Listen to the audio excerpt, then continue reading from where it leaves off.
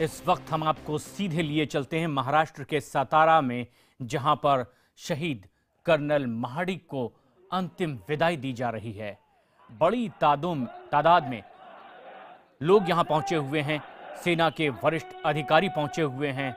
पूरा गाँव कर्नल महाडिक का नम आँखों से कर्नल महाडिक अमर रहे के साथ उन्हें अंतिम विदाई दे रहा है। और ये सीधी तस्वीरें आप देख रहे हैं महाराष्ट्र के सतारा ज़िले से।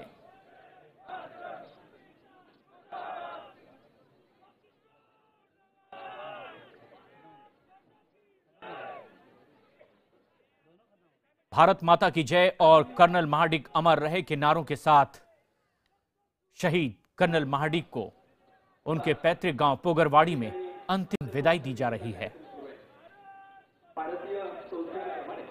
हम आपको बता दें कि जम्मू कश्मीर में भारत पाकिस्तान की सीमा पर आतंकियों की घुसपैठ की खबर मिली और ऐसे में कर्नल महाडिक अपने साथियों के साथ सर्च ऑपरेशन पर निकल गए थे और कुपवाड़ा में, ऐसे में देश के दुश्मन आतंकियों से लोहा लेते हुए और अपने कुछ साथियों के साथ गंभीर रूप से घायल हो गए थे कर्नल संतोष महाडिक और उपचार के दौरान आखिरकार वीर गति को प्राप्त हुए। आज उनके पैतृक गाँव पोगरवाड़ी में उन्हें अंतिम विदाई दी जा रही है। इकतालीसवीं राष्ट्रीय राइफल्स के commanding officer colonel Santosh Mahadik को नम आँखों से न सिर्फ़ उनका परिवार, बल्कि उनके साथ काम करने वाले और तमाम वो सिपाही आज यहाँ मौजूद हैं। उनके परिजन नम आँखों से उन्हें विदाई दे रहे हैं। उनतालीस साल के कर्नल महाडिक पूरी बहादुरी के साथ दुश्मन आतंकियों से लड़े। अपने जाबाजी के लिए सेना मेडल से भी इन्हें सम्मानित किया जा चुका है। अपने पीछे एक भरा पूरा परिवार 104 साल के उनके दादा माता पिता पत्नी, एक बेटा और बेटी भी। पत्नी की आँखें नम हैं, लेकिन फख्र से सर ऊँचा है। ज़ुबान पर ये अल्फाज हैं कि वो अपने बच्चों को भी माँ भारती की सेवा में इसी तरह से सेना में भेजने के लिए तैयार हैं। आतंकियों की इस नापाक कारगुजारियों को लेकर मन में गुस्सा ज़रूर है। बगैर किसी गलत रास्ते को अख्तियार करने के एक बार फिर सेना में माँ भारती की सेवा के लिए अपने बच्चों को भेजने के लिए आतुर कर्नल महाडिक की पत्नी। तो तस्वीरें आप देख रहे हैं। देश के रक्षा मंत्री मनोहर पर्रिकर ने भी उन्हें श्रद्धांजलि सुमन की दिनेश मौर्य, हमारे सहयोगी इस वक्त मौजूद हैं पोगरवाड़ी में। हमसे सीधे जुड़ रहे हैं। दिनेश, क्या कुछ इस वक्त का नज़ारा और कौन कौन से ऐसे लोग हैं जो श्रद्धांजलि देने पहुँचे हैं कर्नल संतोष महाडिक को? ये कुछ ही देर पहले रक्षा मंत्री मनोहर पर्रिकर खुद यहाँ पर आया। उन्होंने श्रद्धांजलि दी। साथ ही महाराष्ट्र के मंत्रिमंडल के कई बड़े मंत्री, साथ ही में सातारा, पूरा सातारा जो है उनके गाँव कर्नल महाडी के गाँव में उमड़ पड़ा है। कई लोगों की आँखें नम है, लेकिन साथ ही में लगातार इनकी शहादत को वहाँ पर याद किया जा रहा है और नारे लगाए जा रहे हैं कि जिस तरह से इन्होंने अपनी कुर्बानी दी, आतंकियों की जानकारी मिली खुद अपनी टीम को लेकर वहाँ पहुँच गया और उन्हें मुँह तोड़ जवाब दिया आतंकियों तो ये जो उनकी शहादत, उनकी बहादुरी को आज पूरा गाँव सलाम कर रहा है, पूरा देश सलाम कर रहा है। खासतौर पर बताऊँ तो जो युवा है वो बहुत ज़्यादा प्रभावित है। इनकी शहादत के वीर गति भले इन्हें प्राप्त हो गई हो लेकिन माँ की रक्षा माँ भारत माँ की रक्षा करते किस तरह अपने प्राणों को निछावर किया जाता है बिना किसी संकोच के और आतंकियों से लोहा लिया जाता है। तो ये जो उदाहरण उन्होंने पेश किया है युवाओं के सामने वो काबिल तारीफ़ है और आज हर वहाँ इस गाँव का पूरा हर युवा जी। जी। और आज जब नम आँखों से विदाई दी जा रही है कुपवाड़ा में दुश्मन आतंकियों से लड़ते हुए किस तरह वीर गति को ये प्राप्त हुए? नसीर अहमद हमारे सहयोगी इस वक्त हमसे जुड़ रहे हैं। नसीर किस तरह का ये ऑपरेशन था? किस तरह की लड़ाई लड़ी यहाँ कर्नल महाडिक ने और आखिरकार वीर गति को प्राप्त हुए? देखिए मैं पहले ये बताना चाहूँगा कि जिस ट्रेन में उन्होंने ऑपरेशन किया उस ट्रेन में जो मौसम था वो काफ़ी खराब था। आ, काफ़ी सर्दी थी लेकिन उसकी परवाह किए बिना ही उन्होंने अपनी टीम को लीड किया और जो इलाका था और जो उनको इन्फॉर्मेशन मिली थी कि तीन लश्कर के मिलिटेंट्स इलाके में छुपे हुए हैं और कोई परवाह किए बिना वो अपनी टीम को लीड करते चले गए और लगभग वो 10 किलोमीटर पैदल चले वहाँ उस इलाके तक जहाँ पे मिलिटेंट्स छुपे हुए थे। तो जो ही तलाशी अभियान शुरू किया गया तो उसी दौरान वहाँ पे, क्योंकि काफ़ी घना जंगल था और उसी घने जंगल की आड़ में उन पर छुप के गोली चलाई गई। और उससे पहले भी लगभग तीन दिन तक उन्होंने लगातार आतंकी का पीछा किया उस इलाके में। और रात के दौरान एक बार वो उनसे वहाँ से भाग निकले। लेकिन जिस दिन पे गोली चलाई गई, जिस दिन वो जख्मी हुए तो उस दिन लगभग दो बजे के करीब उन्होंने घेर लिया आतंकियों को, लेकिन आतंकियों ने पीछे से उन पर वार किया, जिससे वो गंभीर रूप से घायल हुए। और ये बहादुरी की और एक मिसाल है भारतीय सेना में, क्योंकि इससे पहले भी हमने देखा कि जो कमांडिंग ऑफिसर है, खुद लीड करते हैं ऑपरेशन लेकिन ये पहली एक ऐसी मिसाल है कि काफ़ी दुर्गम इलाके में, क्योंकि सर्दी काफ़ी है और पहाड़ी काफ़ी ऊँची है और काफ़ी घना जंगल है। उसकी परवाह किए बिना ही अपने जो। सोल्जर्स हैं उनको साथ लेके ऑपरेशन पे वो जा रहे थे जब बिल्कुल।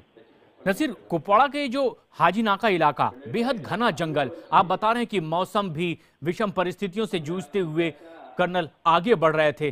किस तरीके का ये इलाका है? किस तरह की आशंका यहाँ लगातार बनी होती है जिससे जूझते हुए आखिरकार आगे बढ़े थे कर्नल महाडिक?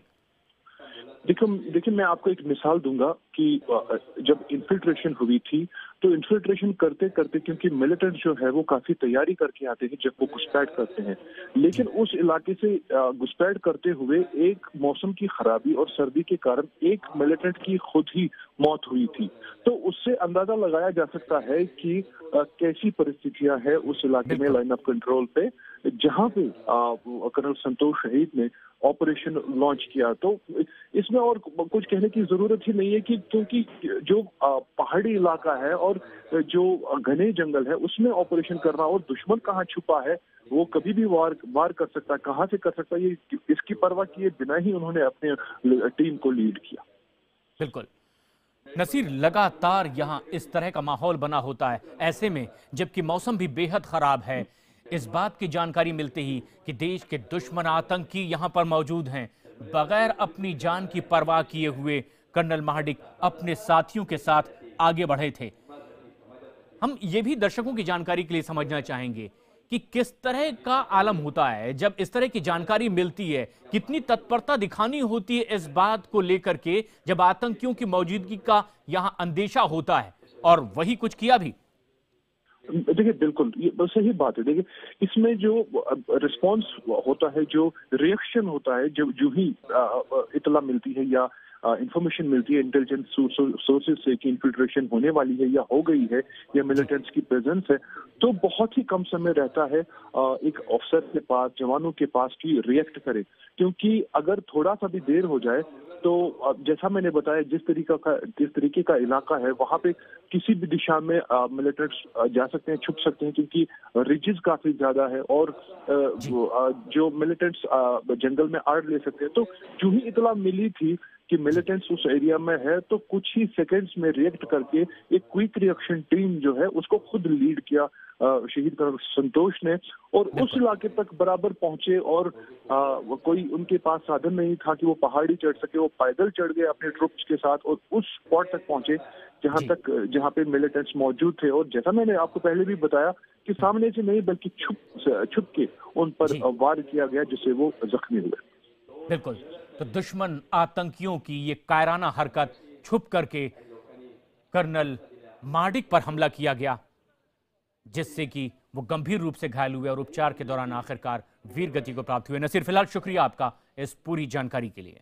महाराष्ट्र के सतारा में, पोगरवाड़ी गाँव में इस वक्त तमाम लोगों की आँखें नम हैं, जब अपने वीर सपूत को अंतिम विदाई दी जा रही है। पूरे सैन्य सम्मान के साथ उन्हें अंतिम विदाई दी जा रही है। कर्नल संतोष महाडिक, जिनका अंतिम संस्कार हो रहा है। देश के रक्षा मंत्री मनोहर पर्रिकर ने भी उन्हें श्रद्धा सुमन अर्पित किए। अंतिम विदाई दी। हम आपको बता दें कि जम्मू कश्मीर में आतंकवाद के खिलाफ लड़ाई लड़ते हुए शहीद हुए कर्नल महाडिक। कुपवाड़ा में जब वो तलाशी अभियान के लिए निकले इकतालीस राष्ट्रीय राइफल के दल का नेतृत्व करते हुए आगे बढ़े कर्नल संतोष महाडिक। और ऐसे में घात लगाकर बैठे आतंकियों ने कायराना हरकत को अंजाम दिया और पीछे से कर्नल महाडिक पर हमला कर दिया। कर्नल महाडिक के सिर पर गोली लगी और आज उन्हें नम आँखों से विदाई दी जा रही है।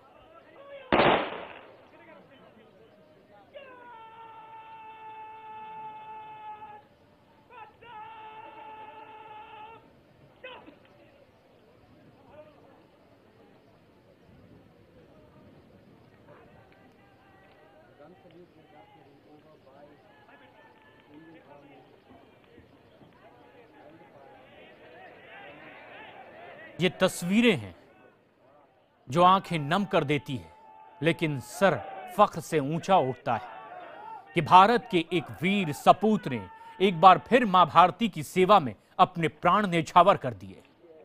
104 साल के दादा बेसुध हो गए, जैसे उन्हें खबर मिली कि उनका जाबाज पोता माँ भारती की सेवा में अपनी प्राण गंवा चुका है।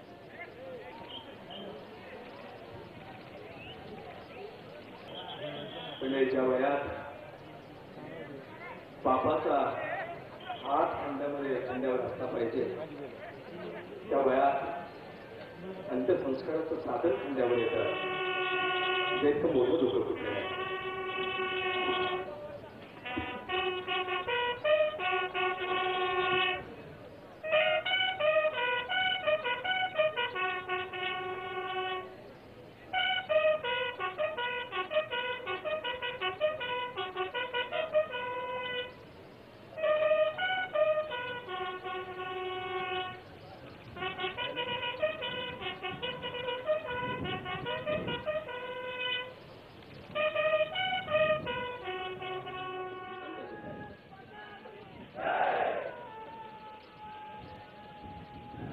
सतारा के पोगरवाड़ी गाँव से ये सीधी तस्वीरें आप देख रहे हैं।